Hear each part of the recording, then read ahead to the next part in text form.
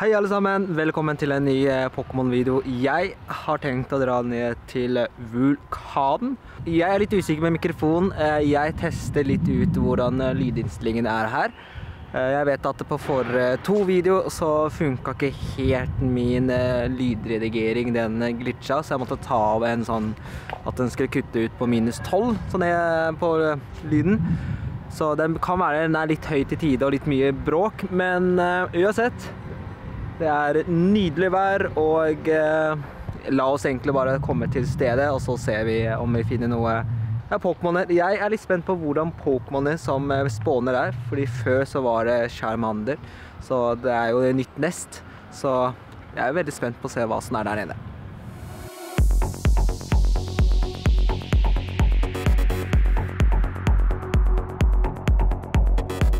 Vi eh, fikk jo et egg. Det er et eh, to kilometer egg, så jeg er litt usikker eh, hva jeg får. Jeg håper bare ikke er Subat. Please ikke være Subat. Og gold! Nei, hva sier jeg? En Magic Magikarp? Det er jeg veldig fornøyd med. Wow! Den er 131 eh, combat power, så jeg er veldig glad for det, altså. Det er jeg. vi er Måtte vi kjøre langs Hva heter det? Akerselva, er det det heter? Jeg tror det heter Akerselva. Og eh, som jeg sa, vi skal ned til et sted som heter Vulkan. Eh, jeg er veldig spent på det nye, om det er en sånn der en nytt eh, nest da. Jeg er litt usikker. Nå kommer det en en ganske sånn bratt bakke, da skal vi sjekke om vi klarer å komme ned da. Jeg regner med det. Oi, oi, oi, det er bratt altså.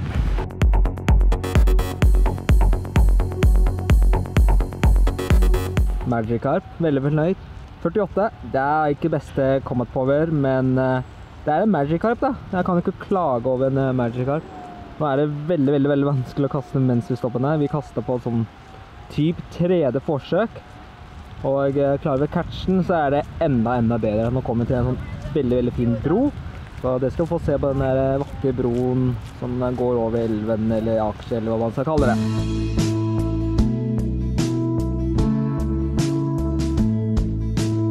Vi fant en uh. Skal vi bare prøve å få trykka på den. Slik. En uh, sjamander. 536 uh, kommet power. Det er jo innafor. Jeg er litt usikker hvordan fokusen er. Vi får holde den litt lenger unna. Forhåpentligvis er fokusen bedre. Uansett, vi kaster på første ball, som er, eller første kast, som er uh, positivt for min del.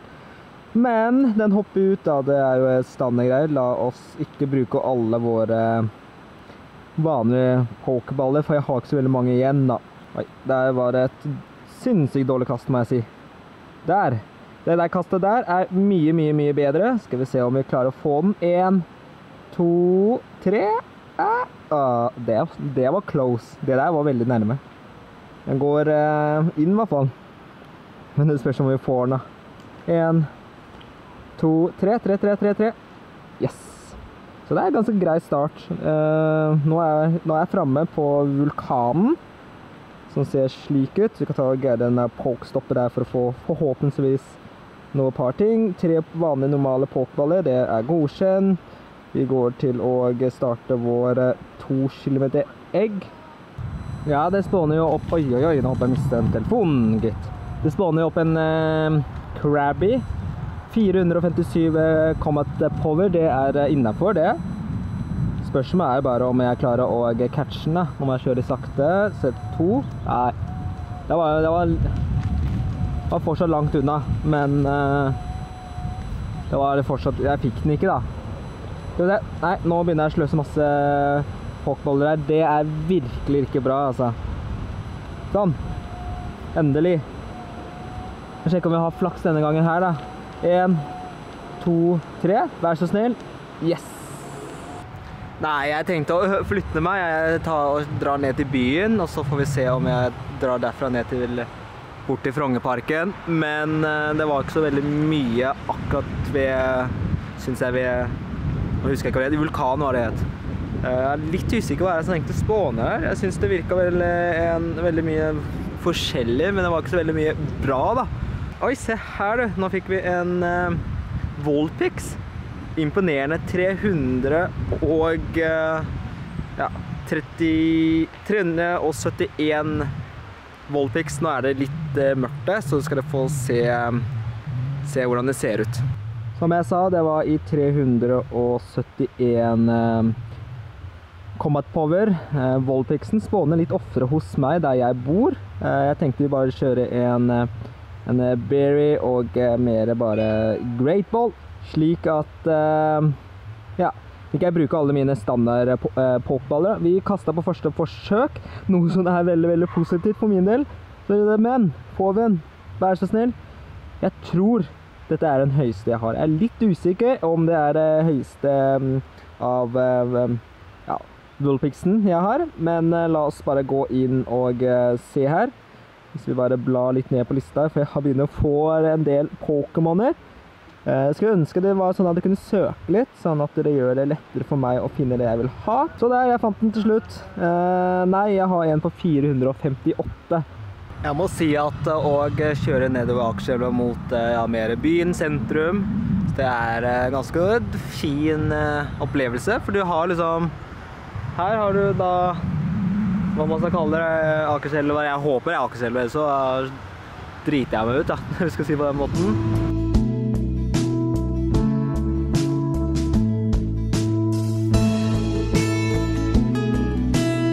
Oh, jeg kommer meg til Spektrum, og jeg fant en Dratini. Og det er deilig. Ja, vi kjører en eh, Great Ball, vi kjører da Berry. Det er viktig å få den her på første kast, syns jeg. Vi bomma på første forsøk da jeg sa jeg ville prøve å få det så greit som mulig. da. Andre forsøk, la oss få Dratini. Dratini er Det er Magikarp og Dratini. Jeg kom til like nå. Nei, så stakk den av. Jeg skulle akkurat ta og prøve å kaste en ball, men den stakk av. Så det ble ikke noe Dratini på meg i dag, da. Ja, ja, ja. Man kan ikke alltid få det man vil ha, eller fange det man vil ha. Nå er det litt kjedelig å ikke få fanga den eh, Dratinien, men eh, sånn er det. Jeg eh, fikk melding av min gode venn Martin, og eh, ettersom jeg er like ved Spektrum, så kommer han til Spektrum for å møte meg. Da. Jeg kommer meg fram til eh, ja, Tigeren og min eh, gode venn, han sitter på hallen. Halla! Halla, hva skjer da? Skal ut og fange litt Perkmans? Nå kommer vi til Oslo sentralstasjon. Som jeg sa tidligere også, det er ikke lov å filme der inne, så da må vi kutte ut. Så vi gjør en sånn vanlig juksing. Da har jeg kommet meg til Majorstuen. Og vi skal til Frognerparken og eh, samle litt eh, Pokémoner. Og eh, ja. Jeg møtte jo noen som også var interessert i kamera og kamerating. Hashtag tommel opp. Så nå er det rødt lys. Vi skal da forbi da Colosseum, og så er vi i Frognerparken. Så neste klipp, så er vi framme. Sjamander i 501 combat power. Det er innafor, det er positivt, det er bra og bra og bare bra.